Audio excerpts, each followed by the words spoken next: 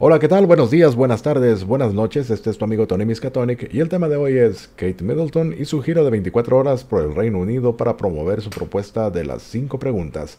Pero antes de continuar te invito a que te suscribas a este canal a fin de que puedas seguir recibiendo notas como esta. La duquesa de Cambridge habló sobre su experiencia de estar aislada como madre primeriza mientras continuaba su gira de 24 horas por Gran Bretaña el día de hoy.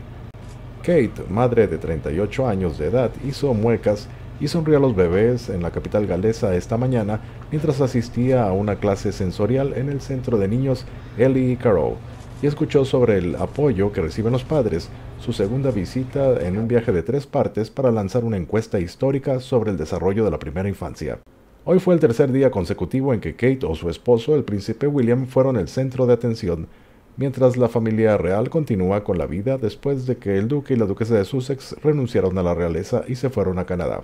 Mientras estuvo en este centro, Kate recordó haber vivido en Anglesey, en el norte de Gales, cuando el príncipe George era un bebé pequeño y William era piloto de helicópteros de búsqueda y rescate de la Real Fuerza Aérea. Mientras visitaba el centro de niños, Kate le dijo a un grupo, Tenía un bebé tan pequeño en medio de Anglesey y estaba tan aislado, tan aislado, no tenía ninguna familia cerca y él estaba haciendo, él, William, hacía turnos de noche. La jefa del centro, Caroline Asante, le dijo a Kate, esa es la cuestión. Todos necesitamos apoyo, no se trata del estatus social. La señora Asante dijo acerca de Kate, ella estaba realmente interesada en lo que los niños tenían que decir y no puedes fingir eso.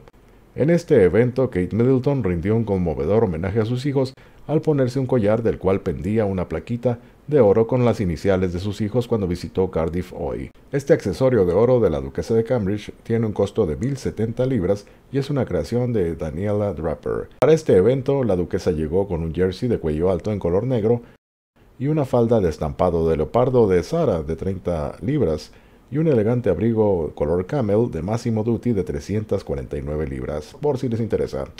Bueno, se despide tu amigo Tony Miskatonic y te deseo un buen día.